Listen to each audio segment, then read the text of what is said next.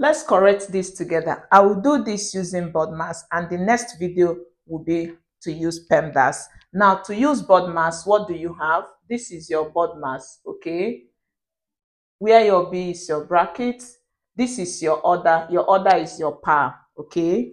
Now you have your division, then your multiplication. These are the major operations we have here. Now what do you do? You deal with the bracket first. So working with this, you are going to add these two in the brackets. So when you add 6 and 4, it gives you 10. So bring down this, you have 2 to the power of 2 divided by 4.